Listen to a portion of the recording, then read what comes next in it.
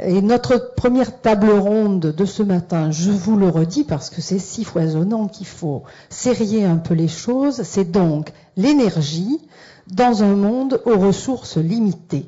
Et pour cela, euh, j'appelle à venir me rejoindre Monsieur Münster, euh, Monsieur Loiseau, Monsieur Meunier et Monsieur Papon. Monsieur Münster. Alors, comme l'a dit Francis, c'est un sujet crucial que nous abordons ce matin. C'est le sujet le plus fondamental, hein, celui à partir duquel les sociétés se développent.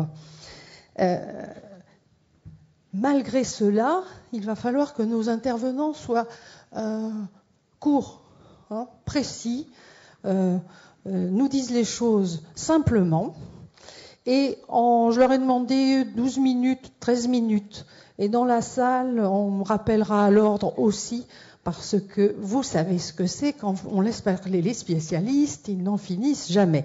Or, je veux absolument qu'avant la pause, qu'on fera vers 11h, 11h10, vous puissiez déjà poser vos questions, avoir la parole. Ne vous inquiétez pas, je vous passe la parole dès que possible.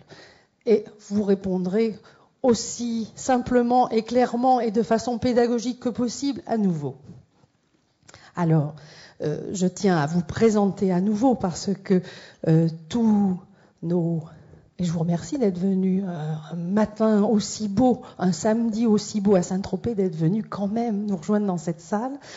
Je vous représente nos intervenants. À côté de moi, qui interviendra en premier, monsieur Jean-François Münster, qui est directeur scientifique de l'entreprise Total, Monsieur Jean-Marie Loiseau, qui est professeur à l'université Joseph Fourier, et vous êtes membre du comité de direction du programme interdisciplinaire énergie au CNRS, donc au Centre national de la recherche scientifique. C'est un peu long, mais je suppose que vous avez tous compris ce que ça veut dire.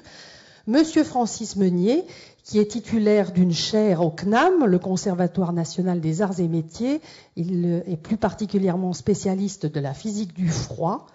Et Monsieur Pierre Papon, que je me réjouis d'accueillir parce que nous nous connaissons depuis de très nombreuses années. Il a été directeur général du CNRS et continue d'écrire et de participer donc à de nombreuses conférences. Merci Monsieur Papon d'être avec nous. Euh, donc, Jean-François Münster, vous êtes directeur scientifique de Total.